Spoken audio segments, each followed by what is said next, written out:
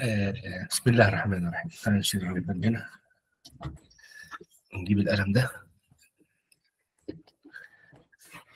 ال linear regression ده واحد من أقدم وأبسط ال models اللي في ال machine learning و still واحد من أقوى ال models في في الحياة العملية يعني model very useful يعني.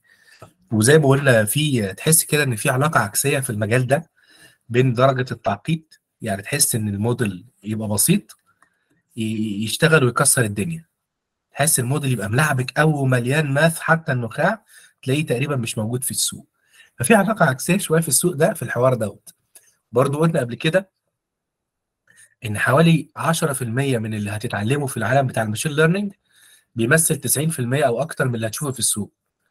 و90% من اللي هتتعلمه بال math بتاعه في ال machine learning يكاد يكون في حدود ال 5 ل 10% في very narrow use cases يعني. ويمكن دي من أفكار ال course ده إن إحنا إن إحنا عايزين نبقى هنا.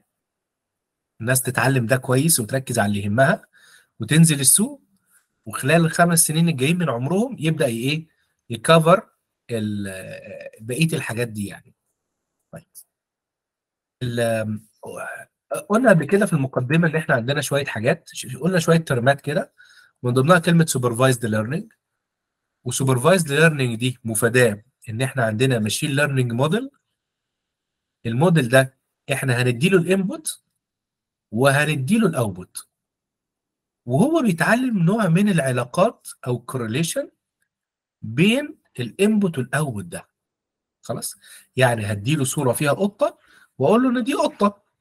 فهو هيتصرف ويشوف إيه اللي يتعلمه في الصورة عشان يعرف إن دي إيه؟ قطه ال supervised learning ك mechanism هو تقريبا اللي بي control السوق حتى يومنا هذا.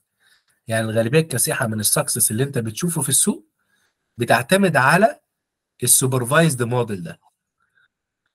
بيعتمد على وجود ال signal بتاعت ال output دي. حتى إن ال self supervised وال unsupervised كتير منهم لسه بيعتمد على الحتة دي.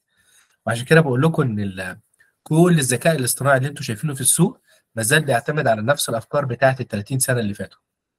إزاي تتعلم العلاقة ما بين الانبوت والاوتبوت طيب في النوع ده من العلاقات في اثنين use cases مهمين جدا.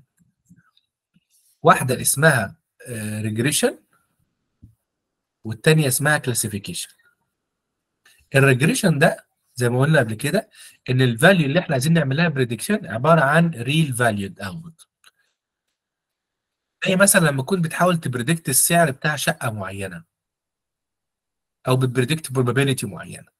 خلاص. وده اللي إحنا هنركز عليه الجزء الأول من ال course. النوع الثاني اللي هو ال classification وده ال output عبارة عن discrete value يعني بقول لك ده cat دي قطة ده سياسة ده مش عارف إيه. وده هنركز عليه بعدين.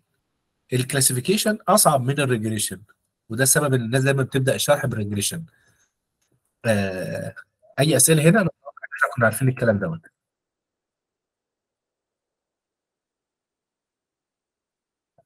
اتفضل يا احمد بص يا دكتور لو, لو أنا عندي case ة إن إن صورة حد لابس هدوم وعايز أقيس ال size بتاعه بتاع هدومه ده دي تعتبر. classification ولا regression؟